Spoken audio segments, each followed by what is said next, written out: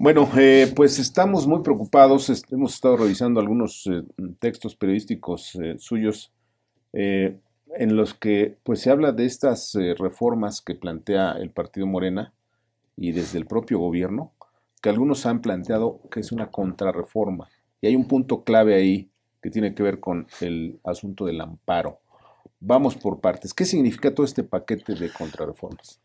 Como se dice bien, una contrarreforma, una regresión en los, lo que se había alcanzado en materia de justicia penal, en materia de respeto a los derechos humanos, al debido proceso, a la oportunidad de, defensa del inculpado e incluso, diría yo, a la presunción de inocencia.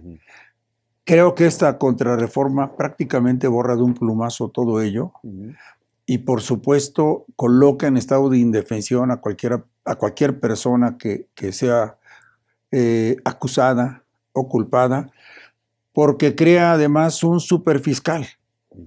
Y los superfiscales, digamos, ministerios públicos, tienen la posibilidad de detener a una persona por 48 horas. Y por cualquier cosa. Arraigo, sí, por cualquier cosa. Prácticamente, casi, casi sin explicación, sin fundamentación. 40 días de arraigo para investigación. Y por otra parte, eliminan el juez de control, que era un filtro frente a posibles excesos o mayores alcances del Ministerio Público. El juez de control es el que decía, ¿hay caso o no hay caso judicial? Si hay caso judicial, lo pasaba a juez de proceso. Eliminan al juez de, de, control para que el Ministerio Público directamente con el juez de proceso consigne la carpeta de investigación. Esto también es un retroceso porque con el juez de control, una vez que había caso, se fijaba fecha para la audiencia, dando oportunidad, en este caso a la defensa, de que también pudiera obtener pruebas que contrarrestaran la del órgano acusador. Por eso se establecía un sistema adversarial en el cual el que mandaba era el juez, no el fiscal, no el Ministerio Público. Esto, esto coloca en una posición, eh, yo diría, a la sociedad. Los que perdemos con esta reforma no son los delincuentes. Eso sería un espejismo. Los que perdemos somos los ciudadanos, porque estamos de alguna manera en manos de una autoridad. ¿Perdemos derechos y libertades? Sí, perdemos derechos y libertades porque prácticamente se llega a una presunción de culpa. Prácticamente la carga de la prueba se vuelve para el, para el inculpado. Y, y estos dos hechos derrumban en principio la presunción de inocencia. Y después eh, las detenciones previas al proceso y el hecho de que la mayoría de los delitos tengan prisión preventiva oficiosa eh, va, a va, a provocar dos cosas. Un sobrecupo adicional de las cárceles que ya tienen un sobrecupo y por otro lado eh, no es lo mismo enfrentar un proceso en libertad que enfrentarlo privado de la libertad. Los costos, en todos sentidos, para el inculpado aumentan y su oportunidad de defensa de un debido proceso se cae.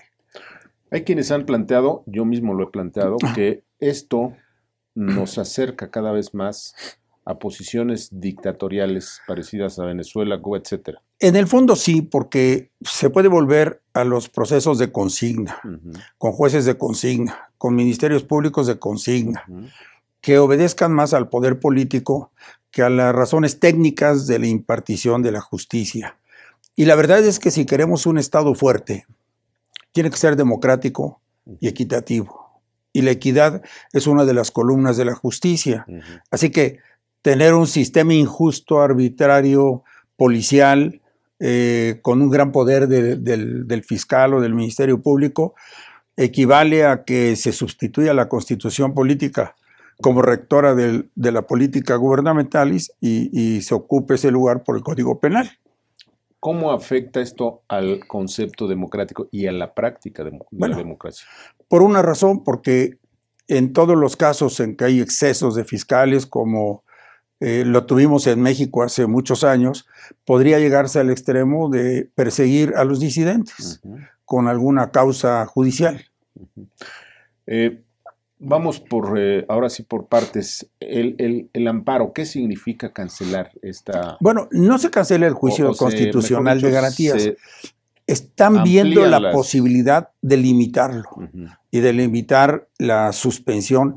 Yo creo que esto, más que a una justicia estrictamente penal, obedece al tema del aeropuerto porque, y al concepto presidencial sobre el amparo, porque para el presidente el amparo es una especie de sabotaje legal. Así lo ha llamado. El propio López Obrador, cuando era líder social o político, utilizaba ese tipo de sabotajes, digamos. Claro, claro, el, juicio de amparo es uno de los patrimonios enormes que el ciudadano tiene para oponerse a las arbitrariedades de cualquier autoridad.